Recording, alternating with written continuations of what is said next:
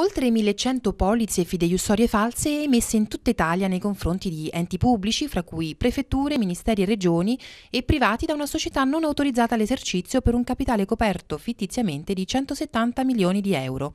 Un'attività illecita che ha fruttato premi per circa 3 milioni per polizze inesistenti.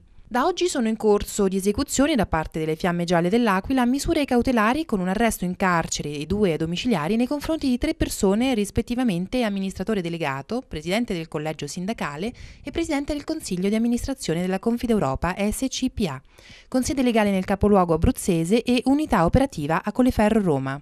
Le accuse principali sono di truffa aggravata, associazione per delinquere e abusiva attività finanziaria. Tra gli enti truffati, numerosi dei quali, anche con polizze escusse naturalmente senza successo, figurano le regioni Sicilia, Trentino e Abruzzo. La rete di clienti era così estesa perché i costi erano al di sotto della media di mercato. Coinvolta nell'inchiesta una quarta persona nella sua qualità di sindaco supplente della Confideuropa SCPA, sul quale pende un provvedimento di divieto dell'esercizio dell'attività professionale. Nelle misure emesse dal GIP del Tribunale dell'Aquila su richiesta del sostituto procuratore Stefano Gallo, ai quattro indagati vengono contestati anche le ipotesi di reato di false comunicazioni sociali, formazione fittizia del capitale, ostacolo all'esercizio delle funzioni di vigilanza ed una dichiarazione infedele.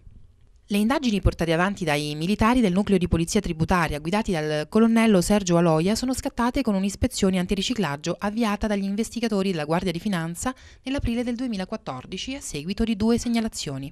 L'una proveniente dalla Banca d'Italia su un presunto esercizio abusivo dell'attività svolta dalla Confideuropa SCPA e l'altra dal nucleo speciale di polizia valutaria della Guardia di Finanza su alcune operazioni bancarie sospette poste dal Presidente del Consiglio d'amministrazione.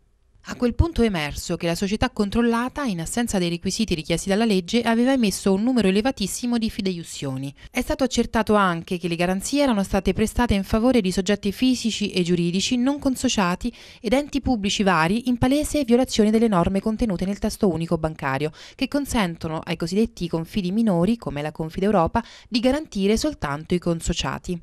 Gli arrestati sono CL classe 63, MG classe 42, SR classe 40 nella loro qualità rispettivamente di amministratore delegato, presidente del Consiglio sindacale e presidente del Consiglio d'amministrazione della Confideuropa. Il professionista raggiunto dal provvedimento di divieto dell'esercizio temporaneo dell'attività è AA, classe 49